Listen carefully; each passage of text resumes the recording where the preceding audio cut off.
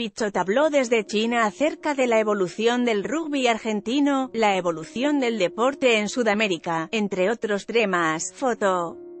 Reuters, el miércoles 10 de abril, la Unión Argentina de Rugby celebró su 120 grados aniversario. Es así que uno de los que se expresó al respecto fue Agustín Pichot, actual vicepresidente de la World Rugby y uno de los grandes protagonistas de la historia de rugby argentino. Desde China, en medio de un viaje laboral con la intención de observar el crecimiento del rugby en Asia, Ficha se tomó un momento para hablar con el programa de radio de rugby. Champana M1220 y dejó varios conceptos acerca del panorama del deporte tanto a nivel local como internacional. Quiero felicitar a la UAR por esta historia, creo que 120 años habla de una madurez que empezó hace mucho. Creo que todos somos parte y tenemos que estar orgullosos de la historia que tiene la UAR, comenzó el ex medio Scrum.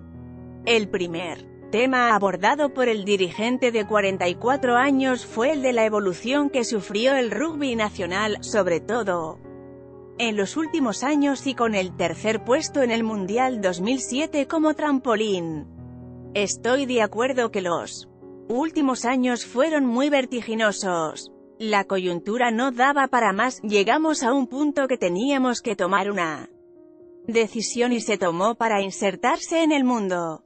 Por supuesto que esto ocurrió gracias a todo lo que pasó antes y la historia es muy rica. Los que estuvimos en la transición entre la década de 92.000 fuimos los que más la sufrimos por el inicio del rugby profesional en el mundo y lo que pasaba con nuestro seleccionado.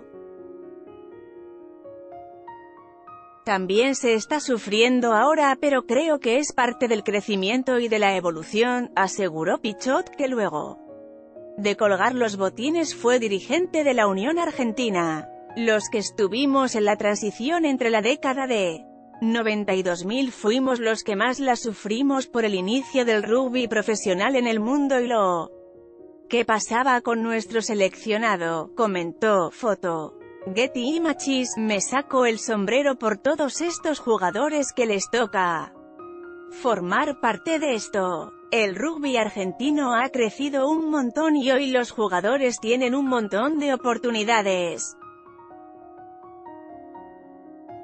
Obvio que tienen que fortalecerse aún más los clubes pero es justo para todos tener un sistema en el que el profesionalismo esté encarrilado. Gozamos de un rugby amateur que es increíble, de un super rugby, las mujeres que están haciendo un camino increíble y de los Pumas en un muy alto nivel internacional, agregó nada menos que el número 2 del ente mundial que regula el deporte de la ovalada. Otro de los tópicos que no quiso dejar pasar Pichot fue el del desarrollo del deporte a nivel sudamericano, con la Argentina como gran protagonista.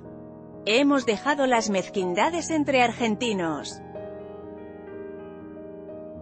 uruguayos, brasileños y chilenos en la región y con el America's Rugby Championship se ha desarrollado el rugby en Sudamérica.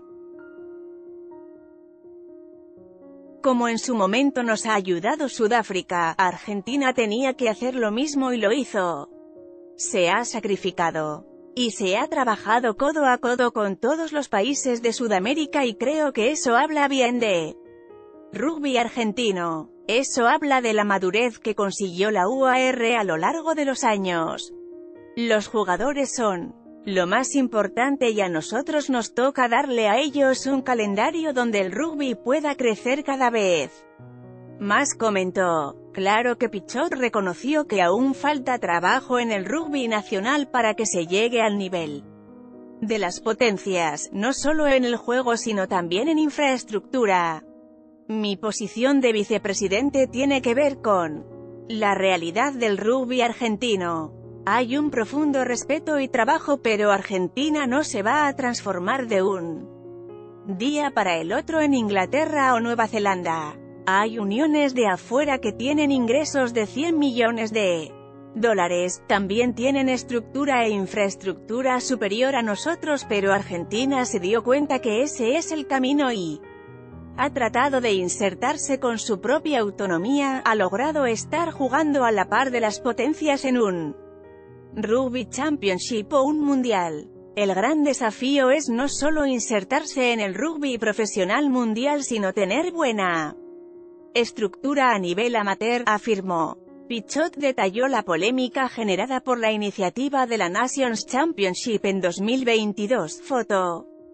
Pelam. En los últimos meses se generó polémica en el rugby mundial por el anuncio de la Nations Championship, un torneo que eliminará las ventanas internacionales a partir del 2022 que se disputará con un formato de dos divisiones de 12 seleccionados cada uno, ubicados de acuerdo al ranking, hoy serían los del seis naciones, los cuatro del Rugby Championship, Fiji y Japón, con ascenso y descenso, a disputarse todos los años, menos los de la Copa del Mundo, y con semifinal y final para definir al campeón. Cuando uno genera cambios parece que de entrada el sistema no les gusta. Pero creo que es parte de eso. Desde que soy dirigente uno se acostumbra a eso y creo que es la única manera de crecer. Era muy importante tener a todos los países del Tier 2 que tengan una posibilidad de jugar todos los años ante los mejores con la oportunidad de ascender y descender. Creo que eso generó un montón de internas, desde los países del seis naciones están muy en contra, excepto Francia. Pero bueno creo que es parte de la lucha y de lo que creemos que hay que hacer aunque no sea fácil, explicó Ficha. Sobre el próximo Mundial de Japón que iniciará en septiembre, Pichot dejó el análisis para los dirigentes y entrenadores del seleccionado y solo se dedicó a desearle lo mejor al equipo nacional. Voy a ser el hincha número uno de Argentina. Espero que hagan un gran mundial, es un gran desafío y les deseo lo mejor, concluyó.